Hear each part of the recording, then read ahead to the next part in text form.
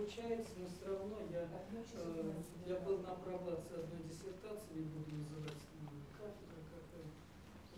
Вот. М, Ну, диссертация. Ошибка средняя, ну, средняя 0,4, плюс-минус 0,42 когда ошибка средняя должна, э, утроенная ошибка средняя должна превышать саму среднюю. О чем здесь говорится? А на основе уже такой статистики, там выводы дальше э,